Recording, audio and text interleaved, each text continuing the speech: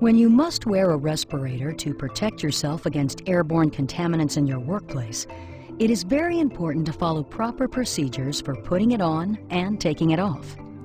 The process of putting on and taking off your respirator is also referred to as donning and doffing. Respirator manufacturers supply instructions on how to properly don and doff, put on and take off each respirator they produce.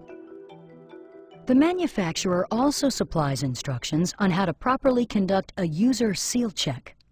A user seal check is a way to verify that the respirator has been properly positioned on your face to assure a proper seal. Sometimes workers confuse the term user seal check with the term fit test, which is different.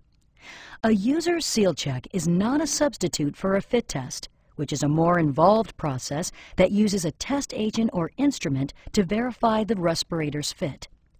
A fit test must be performed before you wear a respirator for the first time and at least annually thereafter.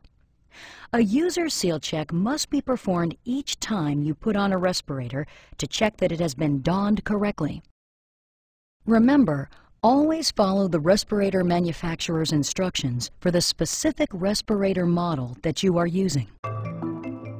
Here are some general instructions for properly donning and doffing and properly conducting a user seal check for the two most common types of respirators.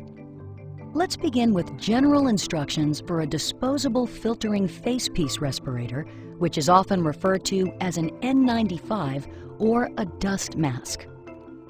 Inspect the respirator, including the straps, for tears or damage.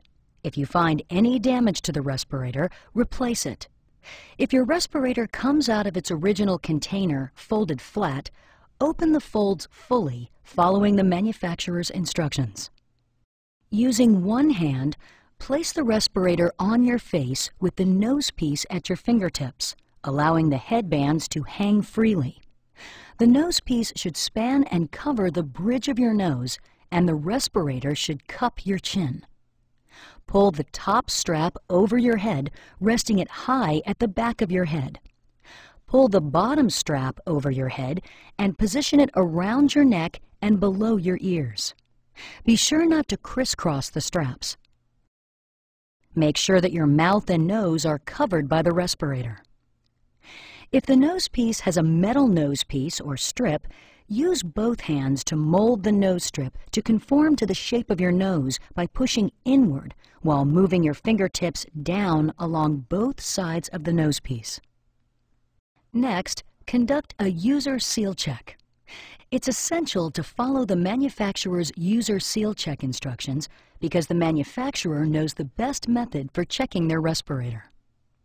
Generally speaking, the manufacturer's instructions are based on covering the surface of the respirator, usually with your hands, so that air is prevented from passing through the filtering facepiece. A positive pressure seal check is performed by gently exhaling to see if the facepiece bulges slightly. For a negative pressure seal check, take a quick deep breath to see if the facepiece collapses slightly. During either test, if air leaks out between your face and the respirator's face seal, the respirator may not fit your face properly. One way that you can identify leakage is if you feel air blowing through the seal onto your face or eyes. If you feel leakage, readjust the fit of your respirator and check the seal again. If you cannot achieve a proper seal, you are not protected and should not enter a hazardous area. See your supervisor to determine what the problem may be. When you're finished wearing the respirator, carefully remove it without touching the exterior, because the exterior may be contaminated. Discard your respirator according to your company's procedures.